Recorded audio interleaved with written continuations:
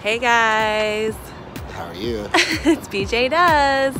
We are headed to Central Park today. We're gonna get on the subway first, so we'll show you guys the subway experience. Woohoo! Should be interesting. So we're here in Jersey City and we have made it to the square that has the subway station.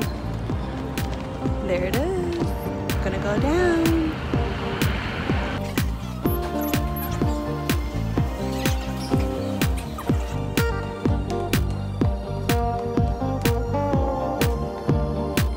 We just got on the subway going the wrong way, so I Turn think around? we need to turn around. So we go. We got to go on that subway.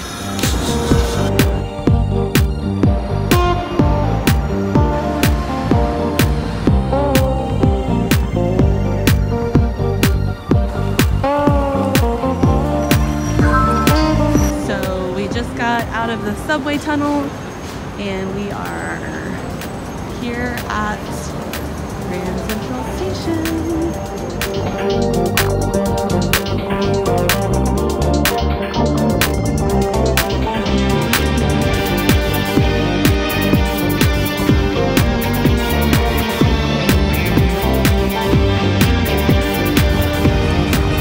We are going into the park. We are about to go eat lunch at the boathouse.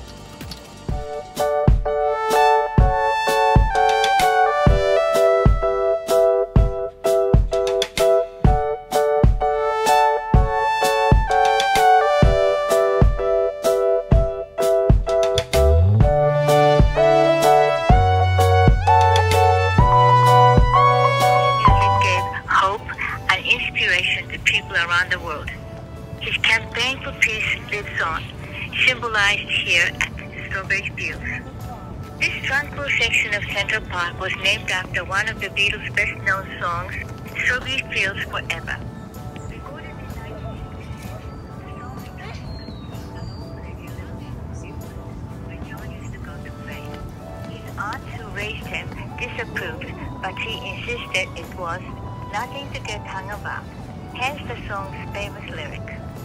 Strawberry Fields was officially dedicated on October 9, 1985, the 45th anniversary